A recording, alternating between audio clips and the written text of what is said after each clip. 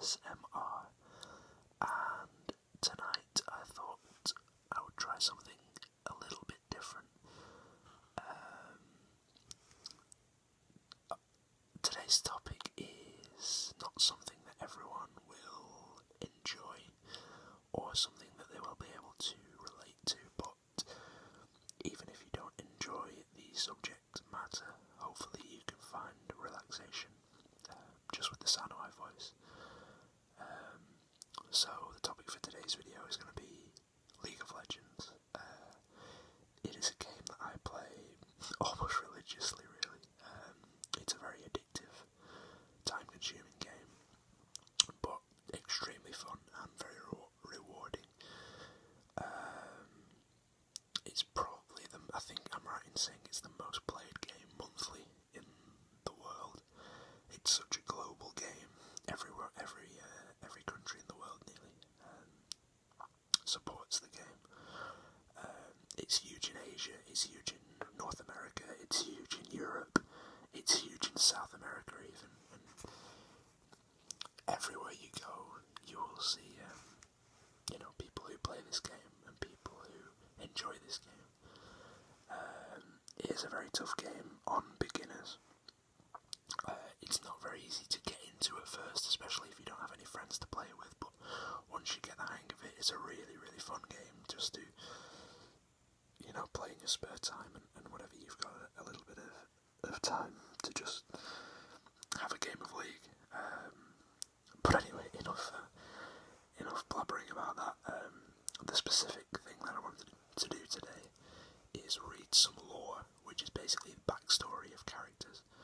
Uh, there are loads of different characters in League of Legends, um, and they all have their their own unique traits and, and backstories and things like that. So it's really cool to get to know all the characters and, and to, to know the whole lore of the world, really.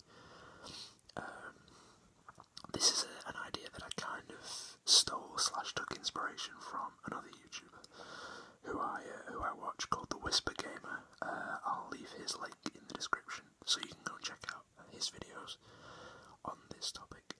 Um, and I'm basically just going to be reading the lore of a character called Yasuo. Uh, he's been one of my favourite characters since he was introduced, uh, which was probably about four years ago, which is about when I started playing the game.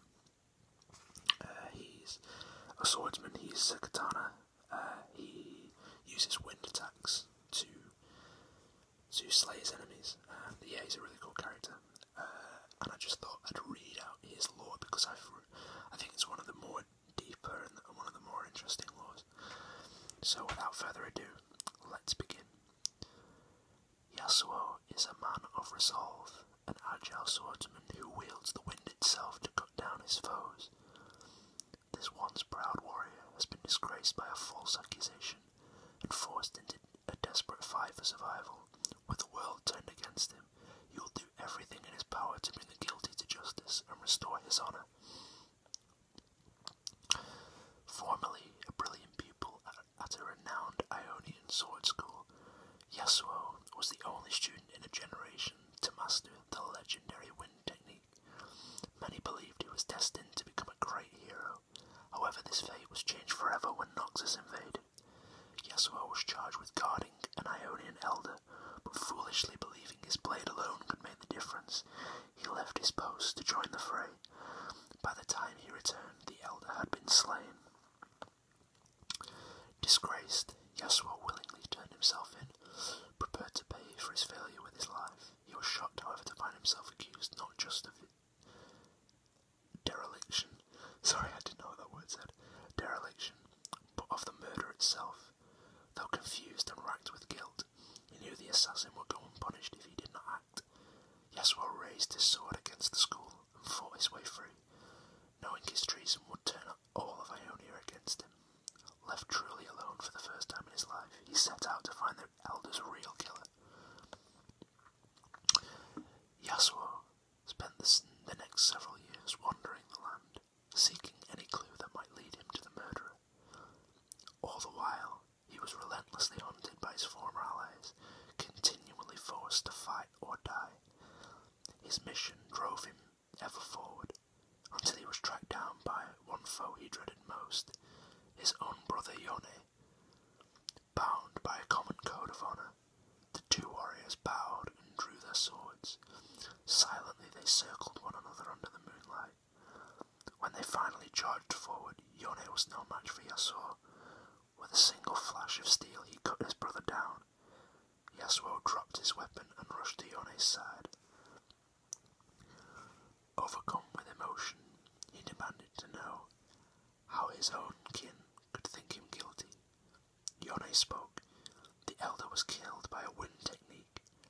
Who else could it be? Understanding swept over Yasuo as he suddenly realized why he had been accused. He professed his innocence once more and begged for his brother's forgiveness. Tears streamed down Yasuo's face as his brother passed in his arms. Yasuo buried Yone under the rising sun, but could not take time to mourn. Others would be after him before long. His brother's revelation had given Newfound purpose. He now had the clue that would lead him to the true killer. Swearing an oath, he gathered his belongings, and with one last look at Yone's grave, set out with the wind behind his back. And there's a little quote at the end of the um, of the lore that says, "The story of a sword is inked with blood." So there we have it. That is the short lore for uh, uh, Yasuo. Um, it's kind of accepted within the League community that there is a character that is not respon not maybe responsible, but definitely suspicious for the murder of the Elder, and that's a character called Riven. And they are rivals in the game. Uh, there are certain characters in the game which have special voice lines when they see each other, if they're rivals or if they're friends. Uh, and yeah, Riven is a rival of Yasuo's, so I think a lot of people think that she was the one that murdered the Elder. Um, but anyway, yeah, I hope you enjoyed that. That was just a little thing that I thought might be cool to share with you guys. Um, potentially even maybe um, encourage a few of you to um, to play League of Legends and to try it out if you have thought about it before but never really given it a shot. if you want to add me on League, if you already have it, I play in a US. Uh, if you're on that server and you want to add me, then uh, feel free to DM me, and I'll I'll definitely send you my uh, my league username, and we can play. Uh, that'd be really cool.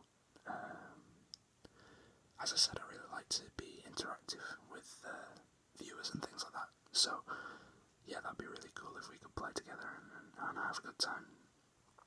Um, but yeah, like I said, I hope you enjoyed it.